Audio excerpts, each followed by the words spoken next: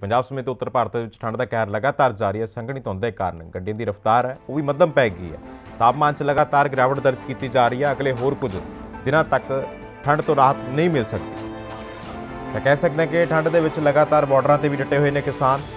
ਆਪਣੀਆਂ ਮੰਗਾਂ ਨੂੰ ਲੈ ਕੇ ਇਸ ਦੇ ਨਾਲ ਹੀ ਸਾਡੇ ਸਹਿਯੋਗੀ ਮੋਗਾ ਤੋਂ ਗੁਰਦੀਪ ਭੰਮ ਤੇ ਮਾਨਸਾ ਤੋਂ ਅਮਰਜੀਤ ਸਰ ਨਾਲ ਲਾਈਵ ਮੌਜੂਦ ਨੇ। ਗੱਲਬਾਤ ਕਰਾਂਗੇ ਉਹਨਾਂ ਦੇ ਨਾਲ ਵੀ ਕਿ ਠੰਡ ਦੇ ਮੱਦੇਨਜ਼ਰ ਕਿਹੋ ਜਿਹੇ ਹਾਲਾਤ ਨੇ। ਤਾਂ ਸਭ ਤੋਂ ਪਹਿਲਾਂ ਮੋਗਾ ਤੋਂ ਰੁਕ ਕਰਾਂਗੇ। ਗੁਰਦੀਪ ਭੰਮ ਕੋਲ ਚੱਲਦੇ ਹਾਂ। ਗੁਰਦੇਵ ਆਮ ਜਨਜੀਵਨ ਤੇ ਕਿੰਨਾ ਕੁ ਪੈਂਦਾ ਹੋਇਆ ਨਜ਼ਰ ਆ ਰਿਹਾ ਠੰਡ ਦੇ ਕਾਰਨ? ਘਟਣੀ ਸ਼ੁਰੂ ਹੋਊਗੀ, ਪਰ ਦੇਖਿਆ ਜਾਏ ਪੰਜਾਬ ਦੇ ਵਿੱਚ ਸੱਤੀ ਅਗਲੋਂ ਠੰਡ ਵੱਧਦੀ ਜਾ ਰਹੀ ਹੈ। ਕੋਲੇ ਦਾ ਕਹਿਰ ਹੈ ਸ਼ੀਤ ਲੈ ਚੱਲ ਕਹਿੰਦੇ ਹੋਏ ਬਿਲਕੁਲ ਗੱਡੀਆਂ ਦੀ ਜ਼ਿਆਦਾ ਜ਼ਿਆਦਾ ਭਰਾਤ ਹੋ ਚੁੱਕੀ ਕੋਈ ਵੀ ਗੱਡੀ ਰੋਡ ਤੇ ਨਹੀਂ ਦਿਖਾਈ। ਗੱਡੀਆਂ ਰੁਕ ਰੁਕ ਕੇ ਚੱਲ ਰਹੀਆਂ ਇੱਕ ਸਾਈਡ ਤੇ ਮੈਂ ਕਹੂੰ ਇਸ ਸਮੇਂ ਟਰੱਕ ਖੜਾ ਹੋਇਆ ਜਗ੍ਹਾ ਤੇ ਉਹ ਵੀ ਧੁੰਦ ਦੇ ਕਾਰਨ ਇਹ ਜਗ੍ਹਾ ਤੇ ਰੁਕ ਚੁੱਕਿਆ। ਕਿਤੇ ਨਾ ਕਿਤੇ ਗੱਡੀਆਂ ਦੀ ਰਫ਼ਤਾਰ ਕਾਫੀ ਘਟ ਚੁੱਕੀ ਹੈ ਪਹਾੜਾਂ 'ਚ ਬਰਫਬਾਰੀ ਮੈਦਾਨੀ ਇਲਾਕਿਆਂ 'ਚ ਖਾਸਾ ਰੋਜ਼ ਤੋਂ ਬਾਅਦ ਠੰਡ ਘਟਦੀ ਆ, ਪਰ ਠੰਡ ਵੱਧਦੀ ਰਹੇ ਸ਼ੀਤ ਲਹਿਰ ਆ, ਧੁੰਦ ਜ਼ਰੂਰ ਘਟਦੀ ਆ ਰੱਜ ਨਜ਼ਰ ਆ ਰਹੀ ਆ। ਪਰ ਕਿਤੇ ਨਾ ਸ਼ੀਤ ਲਹਿਰ ਬਹੁਤ ਚੱਲ ਰਹੀ ਆ, ਹਵਾਵਾਂ ਠੰਡੀਆਂ ਚੱਲ ਰਹੀਆਂ, ਹਵਾਵਾਂ ਚੱਲਣ ਦੇ ਕਾਰਨ ਠੰਡ ਕਾਫੀ ਵੱਧਦੀ ਹੁੰਦੀ ਆ। ਦੂਜੇ ਪਾਸੇ ਦੇਸ਼ ਦਾ ਜਿਹੜਾ ਅੰਨਦਾਤਾ ਧਰਤੀ ਪੁੱਤਰ ਆ, ਉਹ ਖੁੱਲੇ ਅਸਮਾਨ ਦੇ ਨੀਚੇ ਬੈਠਾ ਹੋਇਆ ਹੈ। ਬਹੁਤ ਠੰਡ ਆ ਕੋਲੇ ਦਾ ਕਹਿਰ ਵੱਧ ਰਿਹਾ ਹੈ। ਬਿਲਕੁਲ 10 ਫੁੱਟ ਦੂਰ ਤੋਂ ਕੁਝ ਨਹੀਂ ਦਿਖਾਈ ਦੇ ਰਿਹਾ। ਜੇ ਕੁਝ ਲੋਕ ਵੀ ਇਸ ਜਗ੍ਹਾ ਤੇ ਮੈਂ ਕਹਿੰਦਾ ਦਿਖਾਈ ਦੇ ਰਹੇ ਇਹ ਜਗ੍ਹਾ ਦੇ ਲੋਕ ਮੌਜੂਦ ਨੇ ਜਿਹੜੇ ਕਿ ਅੱਗ ਸੇਕ ਰਹੇ ਨੇ ਅੱਗ ਸੇਕ ਕੇ ਠੰਡ ਤੋਂ ਬਚਿਆ ਜਾ ਸਕਦਾ ਜਾਂ ਕਿ ਗਰਮ ਚੀਜ਼ਾਂ ਦਾ ਸੇਵਨ ਕੀਤਾ ਜਾਂਦਾ ਹੈ ਜਾਂ ਚਾਹ ਪੀਤੀ ਜਾਂਦੀ ਹੈ ਅੱਗ ਸੇਕ ਰਹੇ ਇਸ ਜਗ੍ਹਾ ਉੱਤੇ ਮੈਂ ਕਹਿੰਦਾ ਬਿਲਕੁਲ ਕਿਉਂਕਿ ਰੋਡ ਦੇ ਉੱਤੇ ਰੋਜ਼ਮਰਾ ਜ਼ਿੰਦਗੀ ਦੇ ਕੰਮ ਕਰਨ ਵਾਲੇ ਲੋਕ ਆ ਰੋਜ਼ ਡੇਲੀ ਦੇ ਕੰਮ ਕਰਦੇ ਆ ਇਹਦੇ ਕ- ਕਾਫੀ ਪ੍ਰਭਾਵਿਤ ਹੁੰਦੇ ਜਾ ਰਹੇ ਆ ਕੀ नाम है ਤੁਹਾਡਾ राम राम ने जी क्या काम करते हो आप मैं गैस सॉल्यूशन का कर रहा हूँ कि अभी ठंड कितनी पड़ी बहुत है ज़्यादा बहुत ज़्यादा थोड़ा निकला नहीं जाता है। अभी आप आग सेक रहे हो यहाँ पे हाँ जी हाँ जी तो काम पे कितनी दिक्कत आती काम करने जाने में? काम पे बहुत ज़्यादा दिक्कत आती है। आप क्या लोगों को सलाह देते पहना जैसे आपने पहना हूँ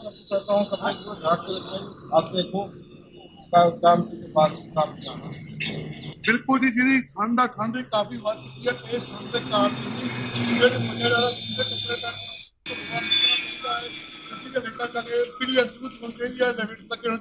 ਗੁਰਦੇਵ ਤਸਵੀਰਾਂ ਦੇਖਣੀ ਚਾਹਾਂਗੇ ਤੁਹਾਡੇ ਕੋਲ ਇੱਕ ਟਰੱਕ ਖੜਾ ਹੈ ਤਾਂ ਰਿਫਲੈਕਟਰ ਖਾਸ ਤੌਰ ਤੇ ਪ੍ਰਸ਼ਾਸਨ ਦੁਆਰਾ ਇਹ ਗੱਲ ਕੀਤੀ ਜਾਂਦੀ ਹੈ ਕਿ ਰਿਫਲੈਕਟਰ ਲਗਾਏ ਜਾ ਰਹੇ ਨੇ ਵਾਹਨਾਂ ਦੇ ਉੱਪਰ।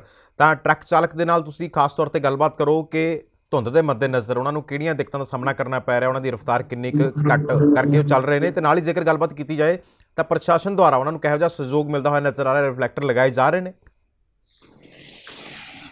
ਤੇ ਟਰੱਕ ਰੁਕਿਆ ਹੋਇਆ ਸੀ ਉਹ ਜਾ ਚੁੱਕਿਆ ਕਿ ਕੁਝ ਸਮੇਂ ਤੱਕ ਰੁਕਿਆ ਹੈ ਤੇ ਬਿਲਕੁਲ ਸਾਹਮਣੇ ਲੋਕ ਵੀ ਖੜੇ ਹੋਏ ਨੇ ਉਹਨਾਂ ਦਾ ਵੀ ਇਹ ਠੰਡ ਦੇ ਵਿੱਚ ਕ- ਗੱਡੀਆਂ ਦਾ ਰੋਜ਼ ਚੱਲੀ ਜਾਂਦੇ ਲੋਕ ਆ ਕਿਤੇ ਦੇ ਮੌਸਮ ਦੀ ਖਰਾਬੀ ਦੇ ਕਾਰਨ ਜਿਹੜਾ ਕਿ ਮੌ- ਕ- ਕਾਰਨ ਕਰਕੇ ਲੋਕ ਜੀ ਇੱਥੇ ਰੁਕ ਜਾਂਦੇ ਆ ਕਿ ਮੌਸਮ ਖਰਾਬ ਦਾ ਕੋਈ ਅੱਗ ਸਿੱਕ ਰੁਕਦਾ ਇਹ ਵੀ ਰੋਜ਼ ਮੈਂ ਚੱਲੀ ਕੰਮ ਹੈ ਕੀ ਨਾਮ ਹੈ ਤੁਹਾਡਾ ਕਰਮ ਜੀ ਆਪ क्या काम करते हो पेंटर का काम पेंटर काम करते ठंड कितनी बढ़ रही है ठंड तो बहुत ज़्यादा ही है अभी आगे नाल पहले ठंड थी अब भी ठंड बढ़ रही है हाँ तो काम करने में दिक्कत आती है बहुत दिक्कत आती है अभी हम सोच पे जा रहे हो तो सेट लगाया वो लेट नहीं आती हाँ रास्ता नहीं लगा रास्ता नहीं है ਰਾਸਤਾ में लेके जाती है हाँ बिल्कुल जी मैं यही कहना चाहिए ਦਸਤਾਨੇ ਪਹਿਨ ਕੇ ਘਰੋਂ ਨਿਕਲਦੇ ਆ ਸਿਰ ਤੇ ਕੱਪੜਾ ਪਹਿਨ ਕੇ ਰੋਜ਼ ਮਜ਼ਦੂਰੀ ਕਰਦੇ ਬਿਲਕੁਲ ਬਿਲਕੁਲ ਗੁਰਦੇਵ ਸਾਡੇ ਨਾਲ ਤੁਸੀਂ ਬਣੇ ਰਹੋ ਸਾਡੇ ਨਾਲ ਮਾਨਸਾ ਤੋਂ ਅਮਰਜੀਤ ਵੀ ਲਾਈਵ ਮੌਜੂਦ ਨੇ ਉਹਨਾਂ ਨਾਲ ਵੀ ਗੱਲਬਾਤ ਕਰ ਲੈਂਦੇ ਆ ਅਮਰਜੀਤ ਮਾਨਸਾ ਦੀਆਂ ਕਿਹੋ ਜਿਹੀਆਂ ਤਸਵੀਰਾਂ ਨੇ ਠੰਡ ਦੇ ਮੱਦੇਨਜ਼ਰ ਕਿੰਨੀ ਕੁ ਧੁੰਦ ਪੈ ਰਹੀ ਹੈ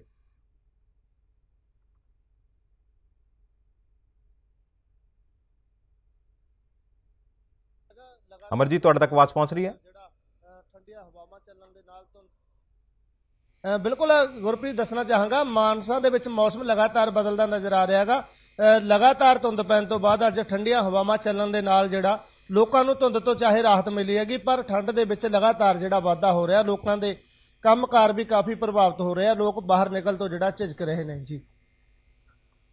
ਠੀਕ ਹੈ ਠੀਕ ਹੈ ਅਮਰਜੀਤ। ਮੁੜ ਤੋਂ ਗੁਰਦੇਵ ਭੰਮ ਦਾ ਰੁਖ ਕਰਦੇ ਹਾਂ। ਗੁਰਦੇਵ, ਤੁਸੀਂ ਤਸਵੀਰਾਂ ਦਿਖਾ ਰਹੇ ਸੀ ਸਾਨੂੰ ਸੜਕ ਦੀਆਂ ਕਿ ਜਿਸ ਹਿਸਾਬ ਦੇ ਨਾਲ ਆਉਣ ਜਾਣ ਵਾਲੇ ਰਾਹੀਆਂ ਨੂੰ ਕਈ ਤਰ੍ਹਾਂ ਦੀਆਂ ਮੁਸ਼ਕਲਾਂ ਦਾ ਸਾਹਮਣਾ ਕਰਨਾ ਪਿਆ ਹੈ। ਹਾਲਾਂਕਿ ਅੱਗ ਵੀ ਸੇਕ ਰਹੇ ਨੇ, ਠੰਡ ਤੋਂ ਤਾਂ ਜੋ ਬਚਿਆ ਜਾ ਸਕੇ। ਦੂਸਰੇ ਪਾਸੇ ਜੇਕਰ ਗੱਲਬਾਤ ਕੀਤੀ ਜਾਵੇ ਤਾਂ ਕਿਸਾਨੀ ਅੰਦੋਲਨ ਦੀ, ਗੁਰਦੇਵ, ਕਿਸਾਨੀ ਅੰਦੋਲਨ ਦਾ ਜਿਸ ਹਿਸਾਬ ਦੇ ਨਾਲ ਚੱਲ ਰਿਹਾ ਹੈ ਠੰਡ ਦੇ ਮੱਦੇਨਜ਼ਰ ਵੀ ਕਿਸਾਨਾਂ ਦੇ ਹੌਸਲੇ ਲਗਾਤਾਰ ਬੁਲੰਦ ਨੇ। ਗੱਲ ਕੀਤੀ ਜਾਵੇ ਤਾਂ ਕੱਲ ਵੀ ਕਈ ਸੀ ਇਹਦਾ ਨੂੰ ਪੈਣਾ ਸੀ, ਮੌਸਮ ਕਾਫੀ ਠੰਡਾ ਸੀ। ਜਿਵੇਂ ਤਰੇਲ ਕਹਿ, ਤਰੇਲ ਪੈਂਦੀ ਸੀ, ਉਹਦੇ ਬਾਅਦ ਵੀ ਕਿਸਾਨਾਂ ਦੇ ਹੌਸਲੇ ਕਾਫੀ ਬੁਲੰਦ 26 ਤਰੀਕ ਨੂੰ ਇੱਕ ਕੇਂਦਰ ਸਰਕਾਰ ਦੇ ਖਿਲਾਫ ਜਿਹੜੇ ਪਿੰਡ ਖੂਨ ਪਾਸ ਤੇ ਰੋਸ਼ਨ ਕੀਤਾ ਜਾ ਰਿਹਾ ਹੈ ਪ੍ਰਦੇਸ਼ ਦਾ ਅੰਦਰ ਪੁੱਤਰਾ ਤੇ ਅਸਮਾਨ ਤੇ ਤੇ ਥੱਲੇ ਬੈਠੇ ਮਜ਼ਦੂਰਾਂ ਕੀਤੀ ਜਾਵੇ। ਸਹੂਲਤਾਂ ਜ਼ਰੂਰ ਕਾਫੀ ਉੱਤੇ ਮੇਰੀ ਆਪਾਂ ਦੇਖ, ਆਪ ਘਰਾਂ ਦੇ ਵਿੱਚ ਬੈਠਦੇ ਆ ਆਪਾਂ ਬਿਲਕੁਲ ਨੂੰ ਘਰੇ ਦੇ ਬੱਚੇ ਨੂੰ ਘਰ ਪਾਉਂਦੇ ਆ ਕੋਈ ਠੰਡ ਨਾਲ ਕਿ ਮੌਸਮ, ਜ਼ੁਕਾਮ ਠੰਡ ਹੋ ਗਿਆ ਅਕਸਰ ਬਿਮਾਰੀਆਂ ਲੱਗਦੀਆਂ ਨੇ। ਪਰ ਉਹ ਜਗ੍ਹਾ ਦੇ ਉੱਤੇ ਸਾਡੇ ਛੋਟੇ ਬੱਚੇ, ਬਜ਼ੁਰਗ ਮਾਂ ਬਾਪ ਬੈਠੇ ਕਿਤੇ ਕਿਤੇ ਕੇਂਦਰ ਸਰਕਾਰ ਨੇ ਜਿਹੜੇ ਤਿੰਨ ਕਾਲੇ ਉਸ ਨੂੰ ਕੀਤਾ ਜਾ ਰਿਹਾ ਉਹ 26 ਨੂੰ ਵੱਡਾ ਸੰਘਰਸ਼ ਕੀਤਾ ਜਾਵੇਗਾ। ਉਹ ਠੰਡ ਦੇ ਬਾਵਜੂਦ ਵੀ ਹੌਸਲੇ ਕਾਫੀ ਬੁਲੰਦ ਆ ਕਿ ਪੰਜਾਬ ਤੋਂ ਹਰਿਆਣੇ ਤੋਂ ਯੂਪੀ ਤੋਂ ਹੋਰ ਹੋਰ ਟਰੈਕਟਰ ਭੇਜੀ ਜਾ ਰਹੀ ਆ, ਉਹਦੇ ਤੇ ਮੌਸਮ ਦੀ ਕੋਈ ਮਾਰ ਪੈਂਦੀ ਨਜ਼ਰ ਨਹੀਂ ਆ ਰਹੀ, ਪਰ ਕਿਤੇ ਨਾ ਕਿਤੇ ਸਾਨੂੰ ਵੀ ਅਸੀਂ ਲਿਵਿੰਗ ਇੰਡੀਆ ਚੈਨਲ ਲਈ ਕਹਿ ਰਹੇ ਆ ਕਿ ਟਰੈਕਟਰ ਦੇ ਲਿਫਟ ਲੱਗੇ ਹੋਣ ਤੇ ਲਾਈਟਾਂ ਲੱਗੇ ਪਰ ਪੂਰੀ ਤਿਆਰੀ ਨਾਲ ਜਿਹੜੇ ਕਿਸਾਨ ਦਿੱਲੀ ਸੰਘਰਸ਼ ਲਈ ਪਹੁੰਚ ਰਹੇ ਜੀ। ਬਿਲਕੁਲ ਗੁਰਦੇਵ ਕਹਿ ਸਕਦੇ ਹਾਂ ਕਿ ਲਗਾਤਾਰ ਜਿਸ ਹਿਸਾਬ ਦੇ ਨਾਲ ਸੰਘਰਸ਼ ਚੱਲ ਰਿਹਾ ਠੰਡ ਦੇ ਵਿੱਚ ਹੌਸਲੇ ਬੁਲੰਦ ਨੇ। ਤਾਂ ਅਮਰਜੀਤ ਦਾ ਰੁਖ ਕਰਦੇ ਹਾਂ। ਅਮਰਜੀਤ ਪਿੰਡਾਂ ਦੇ ਵਿੱਚ ਕਹਿ ਤੋ ਕਹਿ ਸਕਦੇ ਹਾਂ ਕਿ ਅਕਸਰ ਜ਼ਿਆਦਾ ਧੁੰਦ ਹੁੰਦੀ ਹੈ ਰੋਡ ਤੇ ਆਮ ਜੀਟੀ ਰੋਡ ਦੇ ਨਾਲੋਂ ਕਿਉਂਕਿ ਜ਼ਿਆਦਾਤਰ ਖੇਤ ਹੁੰਦੇ ਨੇ ਪਿੰਡਾਂ ਦੇ ਵਿੱਚ ਜਿਸ ਦੇ ਕਾਰਨ ਧੁੰਦ ਜ਼ਿਆਦਾ ਵੱਧਦੀ ਹੈ। ਤਾਂ ਪਿੰਡ ਦੇ ਲੋਕਾਂ ਦਾ ਕੀ ਮੰਨਣਾ ਜਿਸ ਹਿਸਾਬ ਦੇ ਨਾਲ ਕਿਸਾਨੀ ਸੰਘਰਸ਼ ਚੱਲ ਰਿਹਾ ਹੈ ਹਾਲਾਂਕਿ ਉਹਨਾਂ ਦੁਆਰਾ ਸ਼ਮੂਲੀਅਤ ਵੀ ਕੀਤੀ ਜਾ ਰਹੀ ਹੈ ਪਰ ਕਿਸਾਨਾਂ ਦੇ ਹੌਸਲੇ ਵੀ ਅ, ਲਗਾਤਾਰ ਬੁਲੰਦ ਨੇ ਤੇ ਲਗਾਤਾਰ ਦਿੱਲੀ ਨੂੰ ਕੂਚ ਜਾਰੀ ਹੈ ਠੰਡ ਦੇ ਮੌਸਮ ਦੇ ਮੱਦੇਨਜ਼ਰ ਵੀ। ਜੀ ਗੁਰਪ੍ਰੀਤ ਬਿਲਕੁਲ ਦੇਖੋ ਕਿਸਾਨਾਂ ਦਾ ਜੋ ਸੰਘਰਸ਼ ਚੱਲ ਰਿਹਾ ਚਾਹੇ ਮੀਂਹ ਆਇਆ ਹਨੇਰੇ ਆਈਆਂ ਤੇ ਨਾ ਹੀ ਜਿਹੜਾ ਠੰਡ ਕਿਸਾਨਾਂ ਦਾ ਸੰਘਰਸ਼ ਨਹੀਂ ਰੋਕ ਸਕੀ। ਠੰਡ ਦੇ ਮੌਸਮ ਦੇ ਵਿੱਚ ਵੀ ਲਗਾਤਾਰ ਕਿਸਾਨ ਆਪਣੀਆਂ ਮੰਗਾਂ ਨੂੰ ਲੈ ਕੇ ਡਟੇ ਹੋਏ ਨੇ ਚਾਹੇ ਦਿੱਲੀ ਦੀ ਗੱਲ ਕੀਤੀ ਜਾਵੇ ਚਾਹੇ ਪੰਜਾਬ ਦੀ ਲਗਾਤਾਰ ਜਿਹੜਾ ਕਿਸਾਨੀ ਸੰਘਰਸ਼ ਚੱਲ ਰਿਹਾ ਹੈਗਾ।